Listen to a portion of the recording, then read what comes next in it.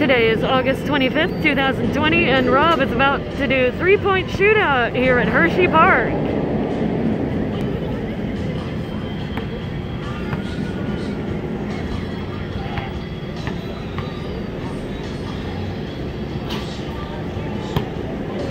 He's got 45 seconds to make as many three-point shots as he can.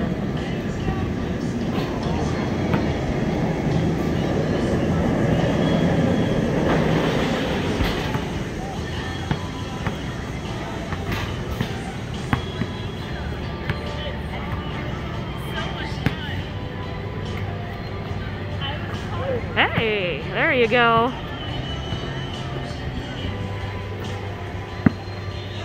Woo! Keep it up. Ah.